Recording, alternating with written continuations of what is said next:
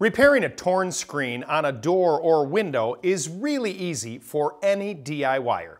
If you have a larger tear like this, you'll need to rescreen the entire frame, and with a small hole, there's an easy patch fix that we'll show you how to do.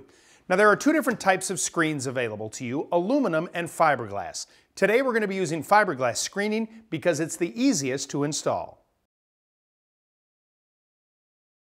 Screen patch kits are great for smaller holes. They make them for both aluminum and fiberglass.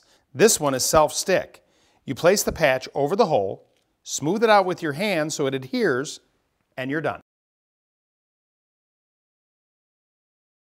If you have a larger tear like this, you'll need to rescreen the entire frame.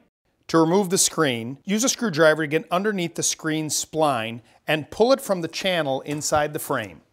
Now you may be able to reuse the old spline, but many times it becomes brittle. Make sure you bring the old spline with you to the hardware store so you get the right size. Now it's time to roll out the screen.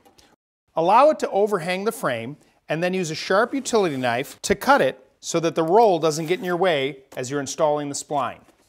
This is a spline tool that's going to help you install the spline into the channel of the frame.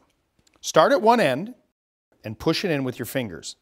Then use the spline tool to slowly roll across the channel, pulling the spline as you go along.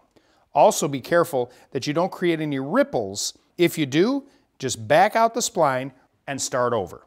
You can keep the spline together in one piece and round the corner because most of the frames have a channel that continues.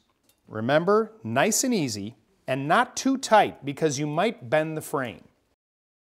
Now it's time to trim the excess screen from the frame.